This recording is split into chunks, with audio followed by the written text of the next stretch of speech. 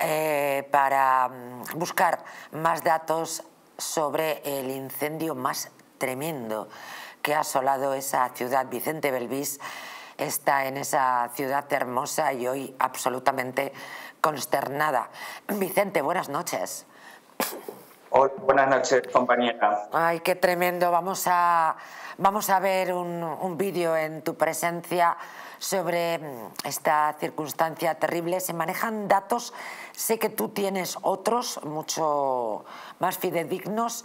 En, este, en esta noticia, mm, eh, pues que se ha sacado hace apenas unas horas, se habla de, de, cinco fallecidos y de 15 desaparecidos, de 14 desaparecidos. Vamos a verlo y enseguida vamos a contrastar contigo esas cifras porque yo sé que tú tienes otras y tú estás en lo cierto.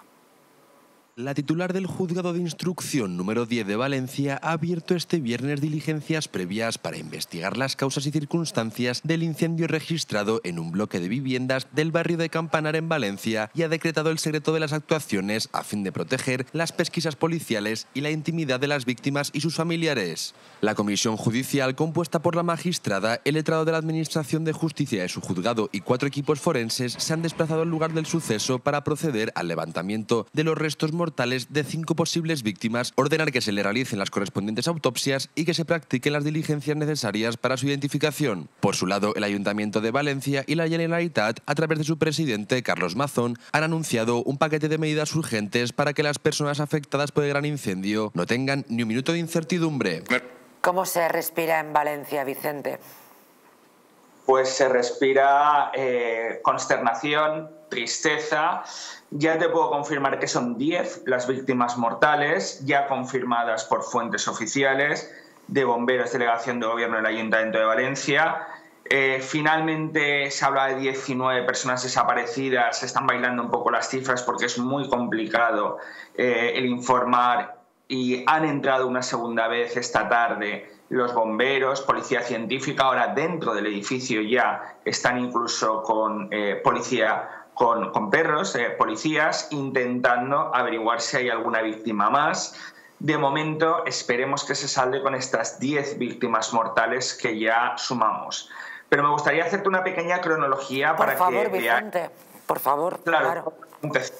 Tengo aquí además, eh, más vale un lápiz corto que una memoria larga, eh, para Primero, son 10 los fallecidos, han sido 15 personas las atendidas con diversos grados de, eh, consideración eh, en, los hospitales valencianos. De ellos, 7 de esas 15 personas, 7 son bomberos. Eh, esta mañana quedaban 6 ingresadas. De esas 6 ingresadas en hospitales, 5 son bomberos.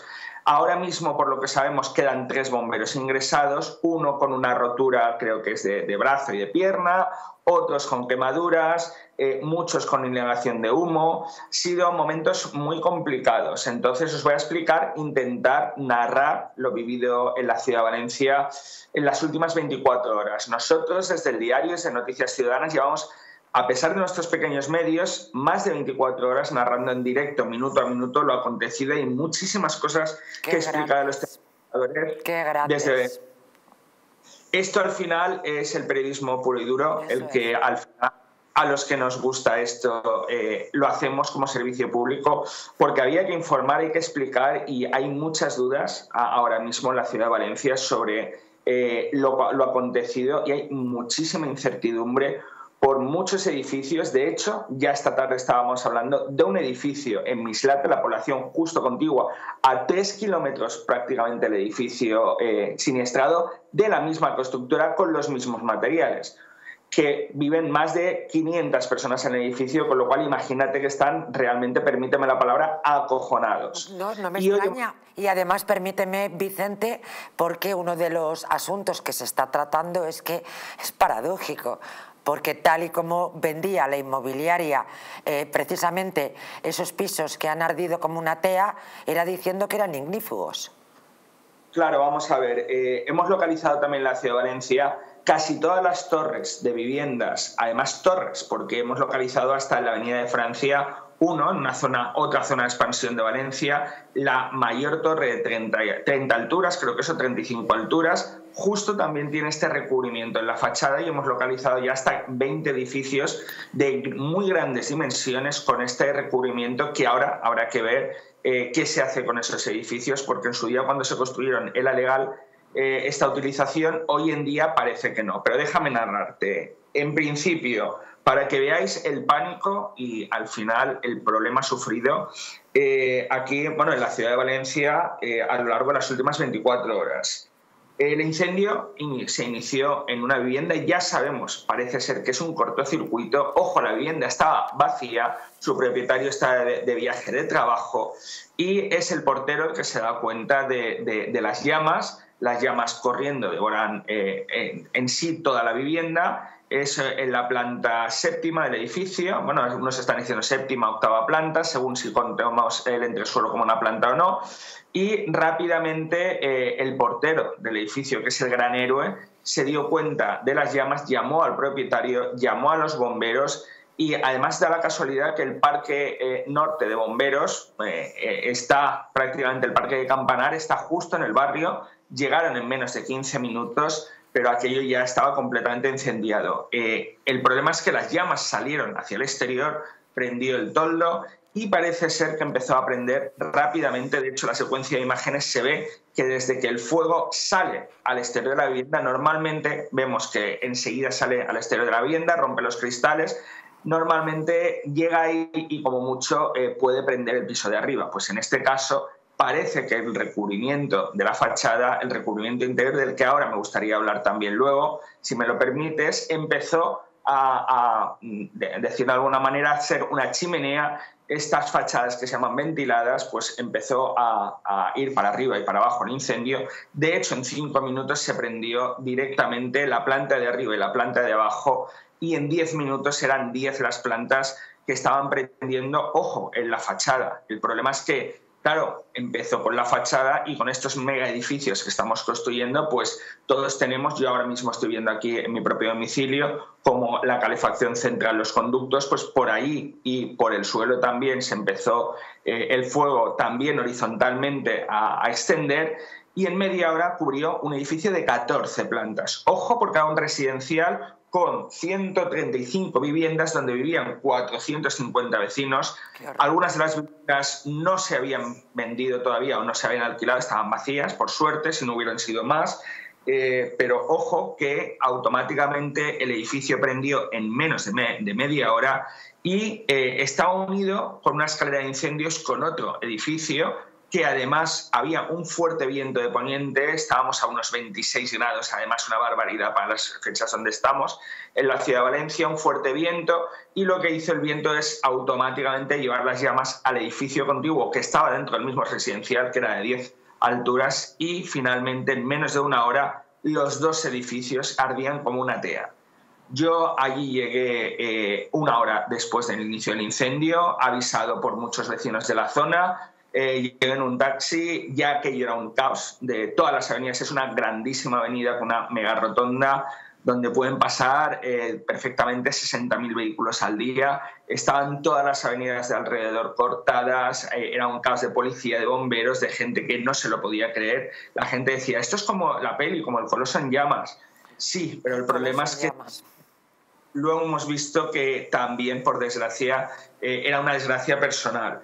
Allí los medios, habían más de 200 bomberos actuando de casi todos los parques de la ciudad de Valencia. Se unió el consorcio provincial de la Diputación de, Valencia de bomberos y a las aproximadamente a las 9 de la noche se pidió una ayuda cuando los bomberos vieron completamente desbordados y esperaban que por lo menos la suerte es que detrás había un jardín y las calles son bastante anchas, que no eh, el fuego no llevara estas placas que además salían ardiendo y incluso centenares de metros. Yo llegué a pasear buscando el puesto de mando y la zona de prensa por calles a 200 metros donde ibas andando y ibas pisando trocitos de planchas de, eh, de la fachada del edificio que habían salido volando. Todas salían quemando, los bomberos corriendo las apagaban, apagaban los árboles cercanos. Era un auténtico caos y nadie se podía creer lo que estábamos viviendo. Qué horror, eh, Vicente. Qué horror, la verdad. era horroroso eh, sucedió anoche. Enseguida lo primero que vimos es que se puso en marcha la solidaridad porque eh, bajaron a los vecinos. Este héroe, que fue prácticamente el portero del edificio, que planta por planta y, puerta por puerta, hasta que ya los bomberos no se lo permitieron, porque los bomberos entraron andando al edificio y subieron para arriba, pero ya no pudieron hacer nada. Eh, entonces intentaron, sobre todo del edificio principal, desalojar a todo el mundo. No se esperaban que al final eh, se cogiera el edificio de al lado, que es donde se rescató a estas personas que lo vimos en televisión prácticamente todos y allí lo pudimos vivir en directo. Eh, lo traumático, los bomberos hicieron una gran labor haciendo como, haciendo como una especie de burbuja, para que entendáis. Dentro de todo estaba ardiendo alrededor, estaban refrescando muchísimo porque las temperaturas eran de cerca de mil grados y a esa temperatura ya eh, el humo quema directamente. De hecho, estas personas ya han sido dadas de alta, sufren pequeñas quemaduras, pero lo que hacían los bomberos era, mm, antes de que su piso ardiera, coger toda la ropa posible, poneros mantas.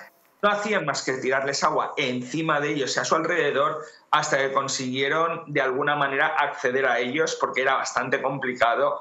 Ojo que una de, las, de los brazos articulados de los bomberos eh, casi se derritió directamente el hierro y se tuvo, tuvo que ser retirada. Qué tremendo, Vicente. La verdad es que nos estás dando eh, datos absolutamente sobrecogedores. Eh, quería emplazarte, si fuera posible, para la próxima semana, para la huella del crimen programa de sucesos de esta casa para poder diseccionar contigo toda esta información. Ahora tenemos que continuar con nuestros invitados en el estudio y con otros asuntos, pero como me gustaría eh, poder compartir contigo eh, la próxima semana todo este, todo este eh, detalle del día a día que habrás compartido naturalmente con tus lectores y que me gustaría que compartieras con los telespectadores de Distrito Televisión.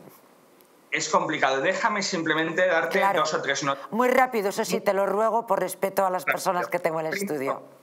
Sacar la solidaridad de toda la gente. El Ayuntamiento de Valencia ha tenido que poner directamente eh, un, mail para recoger toda esta solidaridad. Eh, ya han recogido más de 10 toneladas de, eh, ropa, de enseres, eh, todo lo está llevando empresas valencianas. Y déjame decirte tres o cuatro datos. Primero, la solidaridad del movimiento fallero en Valencia todos los casales de la ciudad de Valencia, de las 385 comisiones, ya sabemos que hay más de 200 comisiones recogiendo en sus casales ropa, enseres, recogiendo todo lo posible que lo van a donar directamente a estas 400 y pico personas que han perdido todo. De hecho, las fallas, eh, se ha decretado tres días de luto por el Ayuntamiento de Valencia y la Generalitat. Las fallas, su acto fundamental de inicio, el pregón, que era la crida el domingo, con una serie de actos durante todo el día, todo se ha suspendido hasta por lo menos. Es totalmente lógico que se, que, se sumen a ese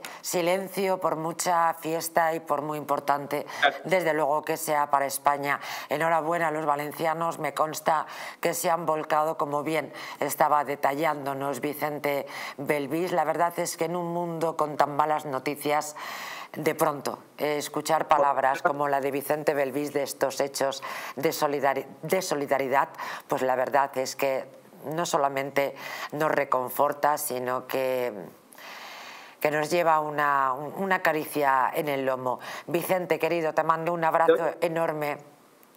Te doy el último dato, simplemente para que veas hasta dónde llega la solidaridad. El Valencia Club de Fútbol y el Levante, Unión Deportiva, los dos equipos de la ciudad, han pedido encarecidamente a la, a la Liga Profesional aplazar sus partidos porque no están para fiestas.